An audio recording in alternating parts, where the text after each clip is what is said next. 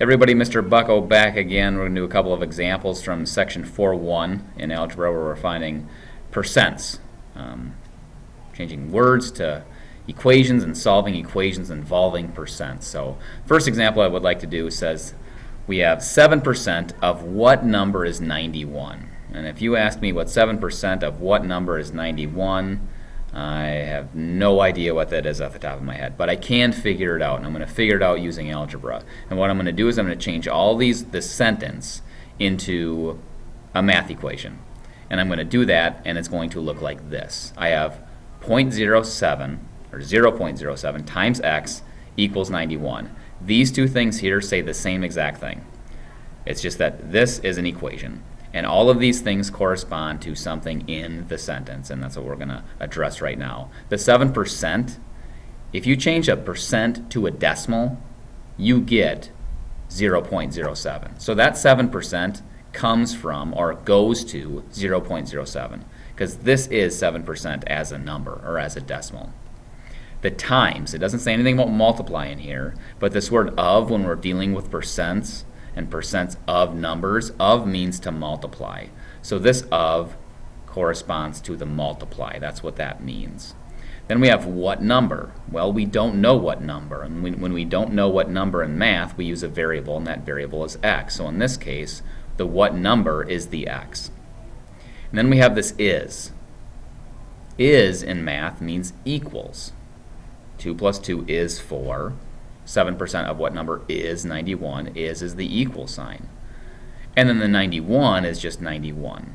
It's already a number. You can put that into an equation just as it is. So now we have 0.07 times x equals 91. And now we have an algebraic equation to solve. We have to solve for x. We want to find out what number. Here it is right here. So we're going to use algebra. And since we are multiplying both sides by 0.07, we are going to then divide both sides by 0.07. And that will cancel out the 0.07s on the left-hand side, leaving us with just x. And then we have 91 divided by 0.07. Now again, I don't know what 91 divided by 0.07 is off the top of my head. So grab your calculator and you will find that x is equal to 1,300. So we can then say that 7% of 1,300 is 91. Another example, what percent of 160 is 38.4?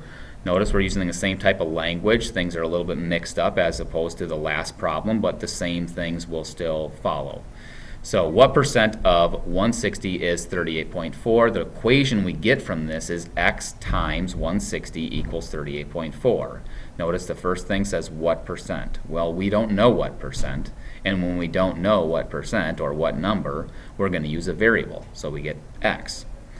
Once again, there's that of, and the of means multiply, so I'll go back and say, well, 1% is, or what percent is the x. Now onto the of. The of means multiply, so that's where that little multiply symbol comes from.